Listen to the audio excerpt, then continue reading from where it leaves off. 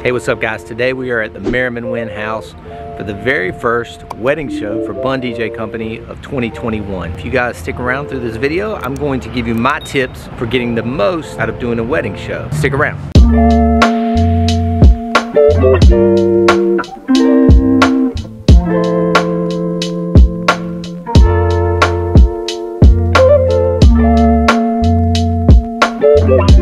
All right, so I just arrived. We got our stuff set up here in the carriage house. Look who I found. Randy B's in the building with the Bunn Gear Command Center, all new, all blacked out with the EV Evolve 50s. That's right. That's right.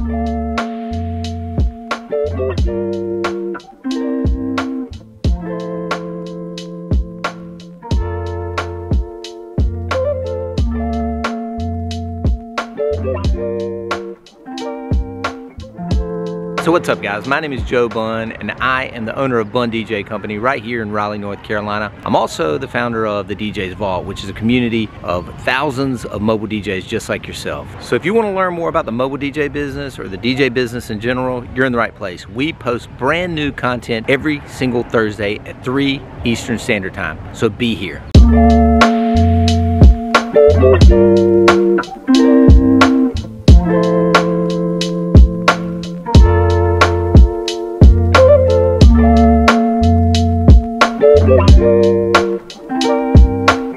Okay, so one of the first things I want to talk about is what are you going to bring?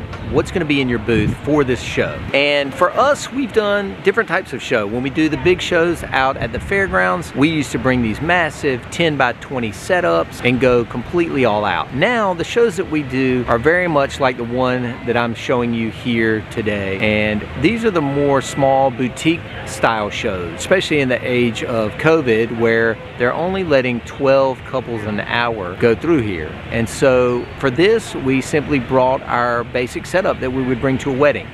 We've got the Bunn Gear Command Center, a couple of EV Evolve 50s, our business card, we're playing music at a low volume, and then we're also putting another computer up with our website pulled up to DJ Event Planner so people can see a little bit about our planning process. So always think about what you're going to take when you're planning this out. You'll also notice that we didn't bring any signage to this particular show. We might bring a couple of pop-up banners normally, but for this particular instance, the planner just wanted everything pretty much one neutral color, so they did the branding and the signage for the show with our name on it. So there are a couple of things that I would say are mandatory to bring to a wedding show. Number one, seems like common sense, but please, please, please bring a big old stack of business cards. You've got to have business cards with you. The other thing is most people are gonna ask you about your pricing. Now, we're very forthright and share our pricing right out of the gate. So in the instance of a wedding show, we usually get a four by six postcard printed somewhere super cheap. And we put all of our pricing, the packages on one side, a la carte on the other side, and also hand those out. Those are the only two things we really hand out. Now, you can also do some sort of little giveaway, pins,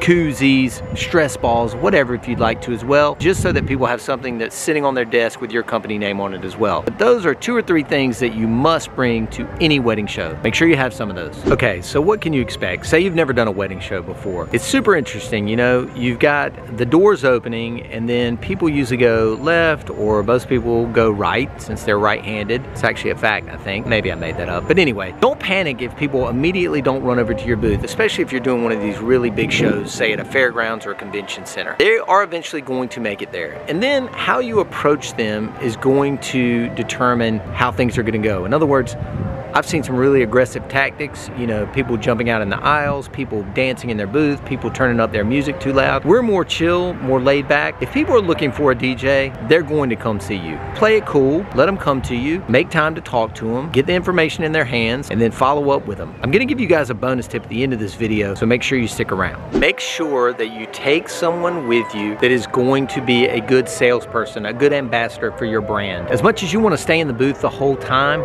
you can't do that because why? You need to be out going around and networking with all of these people that are here today. And I'm not talking necessarily about the future brides and grooms. I'm literally talking about the other vendors that are at this show. You've seen all the B-roll during this video of all the other people are here all those people are potential sources of business. So take someone with you or two people with you that can represent your company, stay in the booth all day while you go out and do your networking. Okay guys, bonus tip time. Here's the bonus tip. If you really want to follow up with people and want to collect their names easily, do this. Go to QR code generator, just Google that right now. They're super easy, super cheap. Generate yourself a QR code and then all you do is you take that QR code, you print it out on a piece of paper, stick it on the front of your DJ booth, people walk up, you say, hey, scan this QR code. It'll enter you for a chance to win a Bunn DJ Company Yeti coffee mug or something like that. Boom, you've instantly captured their data and now you've got a chance to follow up with them and book that show. Guys, as much as these shows might take up a good portion of your Saturday or Sunday sometimes, like today is, think about it. Is it worth your time? For example, we play at this venue almost every single weekend. Of course, I'm gonna be here. So think about the ROI and then book yourself some wedding shows as soon as they start happening again. I promise you, they will lead to business if you follow these tips here today. That's it for this video. Hope you enjoyed it. As a thanks for getting to the end, check out these email templates below. These are what I use to follow up with my client and make sure that I book that show every time.